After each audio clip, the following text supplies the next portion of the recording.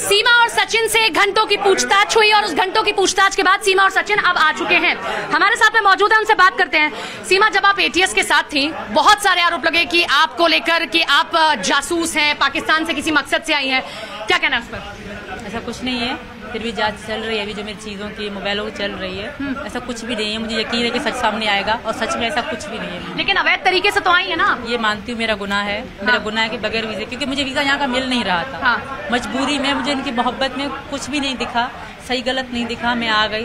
पर मानती हूँ मैंने गलती करी है। लेकिन इतने पासपोर्ट इतने फ़ोन एक फ़ोन टूटना और इतने फर्जी दस्तावेजों के साथ क्यों आई अगर आना ही था तो कोई मुकम्मल चीज़ें लेकर आती हैं? मुकम्मल चीज़ें हैं मैम। तो ये चार से पाँच पासपोर्ट के बाद मेरे बच्चे तो चार है ना। इनके पासपोर्ट जहाज़ में चढ़ने के लिए इनके पासपोर्ट चाहिए थे। नेपाल आने के लिए इनके चार मेरे बच्चों के हैं एक मेरा है। एक में मेरे नाम जो है उसमें नेपाली एम्बेसी ने वीज़ा नहीं दिया। हाँ। उसको खारिज कर दिया तो मैंने दूसरा पासपोर्ट बनाया। लेकिन अगर डिपोर्ट किया गया आपको पाकिस्तान तो? क्योंकि आप फर्जी तरीके से आई हैं आप अवैध तरीके से आई हैं। आपको कहा जा रहा है कि दूसरा मुकदमा तो चलेगा ही ना आप पर?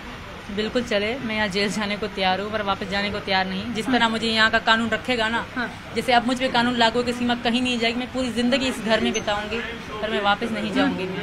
एटीएस के सवाल क्या क्या रहे? क्या क्या सवाल पूछे गए? कुछ अगर आप जानकारी दे पाए। जो हमारी शुरू से पूछताछ थी हाँ। जो होती आई है वही पूछताछ हुई थी। हाँ।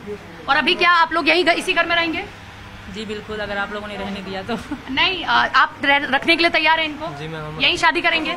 हिंदू रीति रिवाज से। लेकिन शादी करेंगे कैसे? क्योंकि इनके पास में भारतीय नागरिकता तो है नहीं। वो तो जब नागरिकता लड़ाई लड़ेंगे। नहीं लड़ाई तो हम नहीं लड़ सकते खैर मैम। हाँ। हमारी खैर कोई गाना गाएँगे फिर से? जैसे आप गाना गा रहे थे अभी। नहीं। आप एक बार फिर से वही गाना आपका सब सुनना चाहते हैं कि कैसे आपने गाया है। आजा परदेसी। एक बार जब प्यार में कितना ही कोई करे आप पर आरोप लग रहे हैं लेकिन आपको कुछ कहना चाहें? एक बार। मेरा आवाज़ अच्छा नहीं पहले लोग जैसा गा रहे हैं प्यार में कोई आपके सुर गीत नहीं होते हैं। जैसा गा रही हैं। एक बार। एक बार सीमा जी एक बार। कोशिश करती हूँ मैं हाँ हाँ करिए कोशिश करिए। सचिन जी आपका साथ देंगे इतना साथ दिया। हाँ। करिए कोशिश करिए। मैं कोई और गाना गाऊँगी हाँ। थोड़ा सा बोल दूँगी। गा लूँ? हाँ।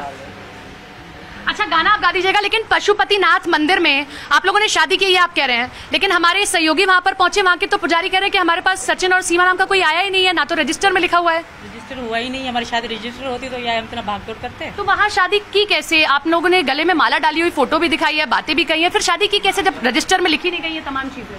तो वही तो मसला हो गया रजिस्टर में नहीं है इन्होंने मेरी मांग मांगी मंगलसूत्र पहना है जैसे होती है पर पता नहीं क्यों वो ना हो पाई क्योंकि हम दो ही थे। और हमें इतनी मालूमात नहीं थी ये भी इनको भी नहीं थी मुझे तो बिल्कुल थी चलिए ठीक है खत्म होने वाला एक गाना गुनगुना दीजिए बस एक एक एक गाना। गुनगुना दें देखिए आप तो ये भी कह रहे हैं गुनगुना दीजिए एक गाना। हाँ गा दीजिए। थोड़ा ये याद ही नहीं रहा मैं कंफ्यूज हो गई भूल गई। ऊर्जा काले मैं कावा ऊर्जा काले कावा आपने इतना अच्छा गाया था। एक एक। रुक जाएगा हाँ। दूसरा गाऊँगी हाँ हाँ हाँ, गाइए गाइए। थोड़ा मुझे दे माइक में थोड़ा मुझे दे दीजिए। हाँ गाइए। हाँ हाँ हाँ। प्यार हमारा अमर रहेगा याद करेगा जहाँ